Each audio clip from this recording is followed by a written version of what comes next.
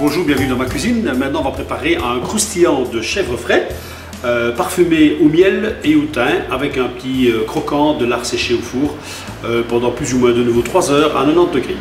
Alors, pour cette préparation, il faut de la pâte à briques, du fromage frais, de chèvre évidemment, la tranche de lard qui va être séchée au four, du thym, du miel et beaucoup de passion.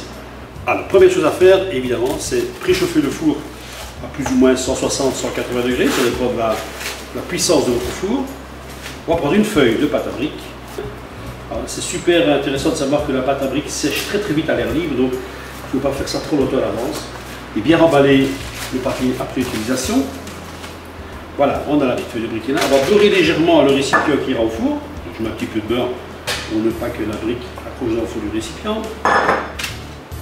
Positionner le fromage au centre. Comme ça, voilà. On va mettre un petit peu de thym par-dessus. Un petit peu de miel.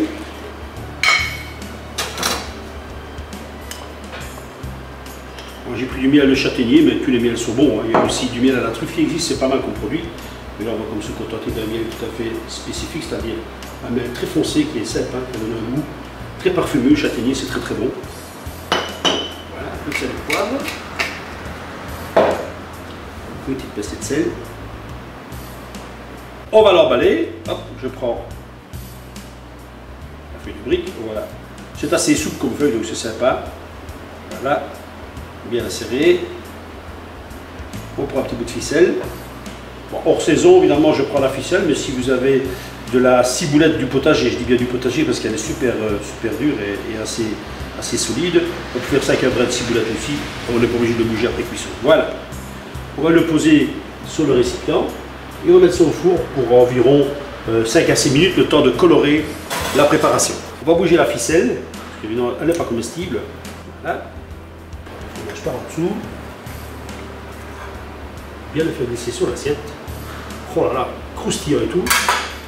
Hop. La petite garniture, le fameux lard séché, un petit brin de thym, ça va rappeler l'intérieur. un petit trait de miel.